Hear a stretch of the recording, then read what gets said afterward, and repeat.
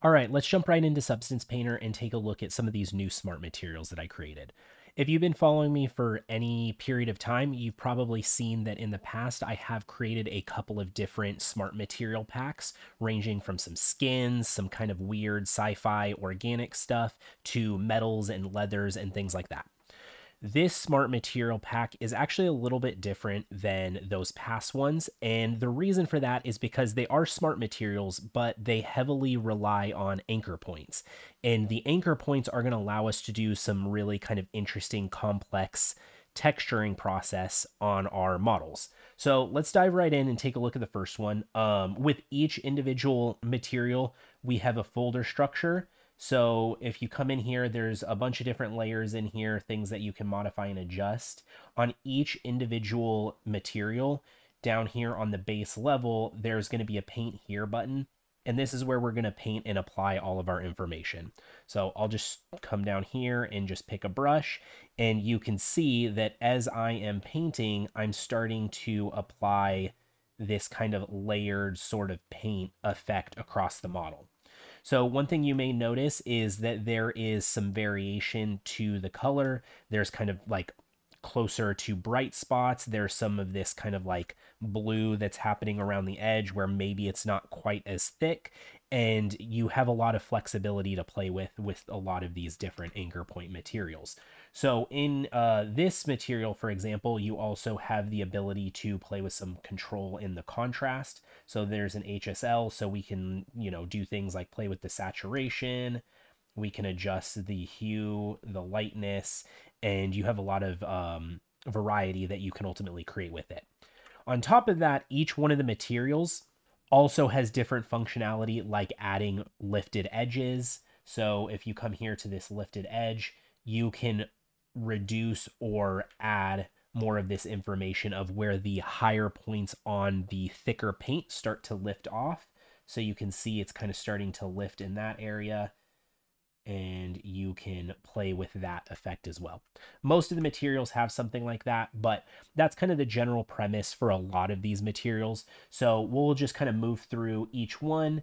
Um, we also have a paint peeled. One thing that you will notice is with these, when you slap them on, they're just white. Th that is intentional. If we come down here to our paint again, we're just going to be able to paint this information in. So this is the um, edge chipping look that we're going after. So if you want to like have like a painted metal or something like that, this is a really cool uh, application that we can use for it. So we have that.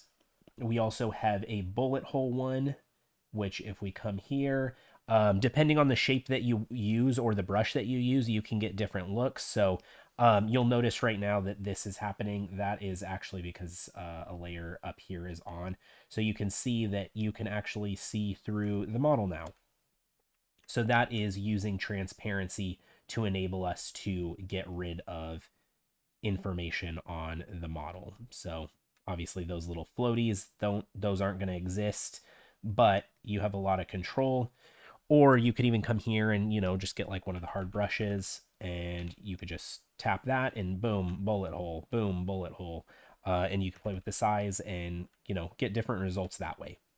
We also have next this dent chipped uh, paint, which is going to do some similar stuff to what we've seen before. Um, but if we come down here, we're just going to push it really hard and you can see that it's actually denting in the metal as well as eroding that dent shape.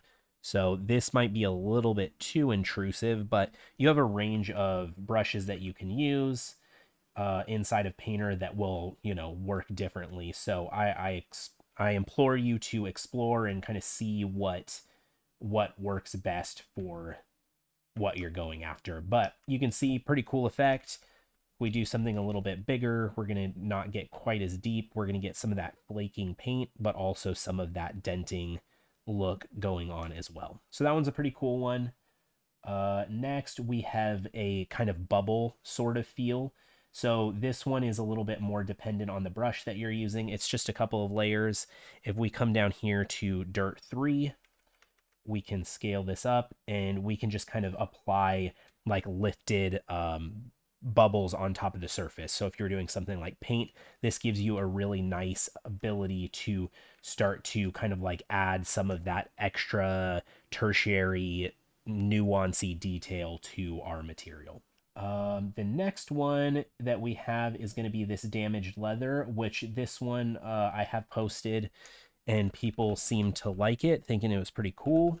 So if we just come here into this layer, we can start to paint that in and it's going to wear away and add some of these cracks around where we're starting to paint in. So we can do something like that. And just to kind of further illustrate what these are really useful for, I'm going to go to one of my smart materials real quick and we will drag that out and see what we can do with that.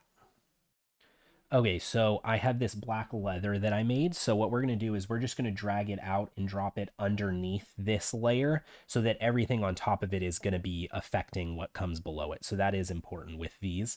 But you should see now this will pop in the black leather and we're going to have this weird effect on the leather now. So you can see we have this kind of cool worn in leather really quickly that we can come in and we can have affect the model in its entirety. Now, one of the other really cool things about these anchor points is we also have the ability to just like drag and drop a um, mask on top of it. So we'll just come to our mask slot and let's find an edge gun wear. I think that that one, edge damage will work. So we're going to drag that over here onto our material. And once that updates, you'll kind of notice that it looks a little bit funny. It looks fine, but it's not inheriting the same properties that were happening before. So what we're going to do is we're actually just going to move it down in our stack a couple of slots to right above where the paint is happening. And then we're going to set this to linear dodge. And now we have the effect of the paint also coming into play with these smart materials. So they are really user friendly. We'll crank that up a little bit and you can see it's starting to wear across the material while also applying some of that like cracking detail and some of that like lifting of the edge where the tearing is happening. So the next one that we'll take a look at is going to be a rust streak one. This one's also really cool because um, there's another smart material that I made which is like a cool kind of rusty material. But this one takes that into account as well as creating rust streaks that will drip down with a couple of different color variations and things like that. So if we come here and start to apply it, you can see that it's going to have that kind of flaked edge as well as start to expose some dripping going on down here. So you can see some of that blue tinging that's happening as well as lifted edge and we also have some of that bubbling happening from some of those other materials as well. So you get kind of this cool eroded rust material, and you can do the same thing applying a mask on top of that as well to get some interesting results. So next we're going to move into the burnt ones, which you can already see what that looks like there. Um, but same thing, we're just going to be able to come in here and apply this kind of information to a surface so that it kind of has that burn charred effect. There's different levels in there. You can kind of see this like gray around the outside gets a little bit thicker where things might char a little bit more. Um, so that's a cool one. Now the next one is probably my favorite. Uh, and this is going to be a burnt emissive material, which is going to do the same thing, but in the center of it, the more that you apply the brush pressure, the hotter the material's going to start getting. So you're going to get really emissive looking um, center to however intense you end up playing, pushing down your brush strokes. So you can see here what's kind of happening. It's starting to expose some more of that hot area and you can like kind of come back and reduce it, you know, depending on how much you want to apply it. And like I said, all of these have different interactions with different brushes depending on, you know, how you're using it. But you can see this one doesn't expose quite as much of that kind of like embery feel, but you can slowly apply a little bit more of it, or you could go really crazy and just kind of, you know, expose a lot of it. So I think that this is the coolest one, um, especially because of the fact that it does have a emissive on it, uh, which is a cool feature to have, you know, depending on what you're trying to use this for.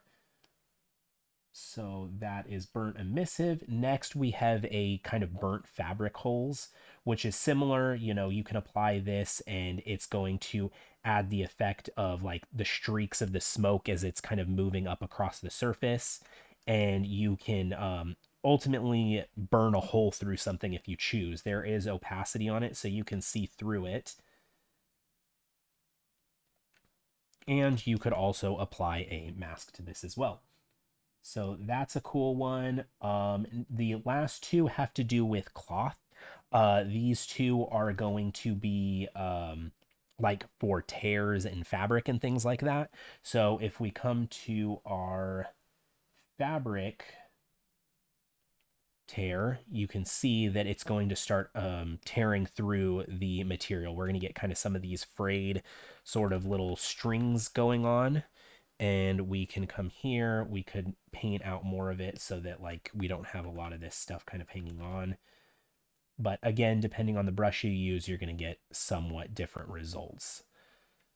So you can do something like that. We also get these like small tertiary holes that happen around the the tear as well so kind of a cool little interesting detail with like these frays the next one is actually going to be doing the same thing but instead of those little frays it's going to have strings laid across it. So like if you look at like torn jeans or something like that, this is kind of a good example of using that on that material so that you have these threads that stick across it.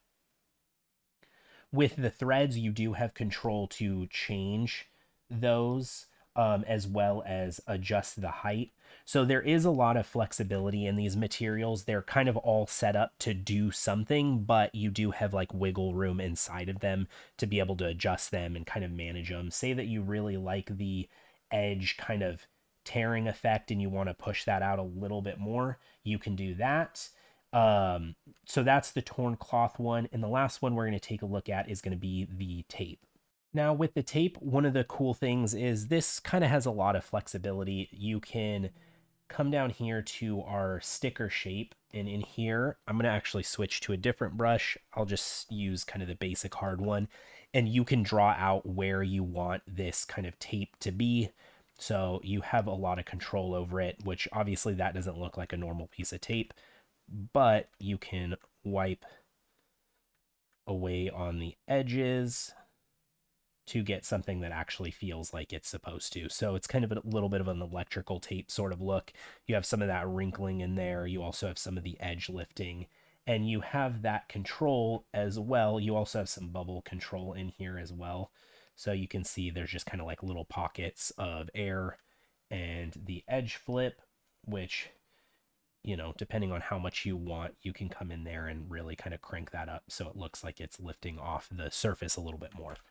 Um, so those are the smart materials in this pack. So if you find those interesting, make sure to check them out. They're going to be on my store on ArtStation. I'll provide a link down below.